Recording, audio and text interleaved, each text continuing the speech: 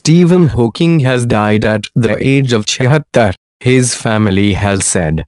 The British physicist was known for his work with black holes and relativity, and wrote several popular science books including A Brief History of Time. We are deeply saddened that our beloved father passed away today, a family statement said. At the age of by Stephen Hawking was given only a few years to live after being diagnosed with a rare form of motor neuron disease. Imaged copyright BBC Richard Ansett The illness left him wheelchair-bound and largely unable to speak except through a voice synthesizer.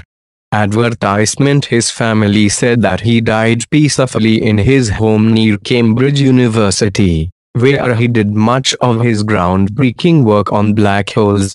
In the statement his children, Lucy, Robert and Tim said, he was a great scientist and an extraordinary man whose work and legacy will live on for many years. Obituary Stephen Hawking They praised his courage and persistence and said his brilliance and humor inspired people across the world. He once said, it would not be much of a universe if it wasn't home to the people you love. We will miss him forever. Prof. Hawking was the first to set out a theory of cosmology as a union of relativity and quantum mechanics.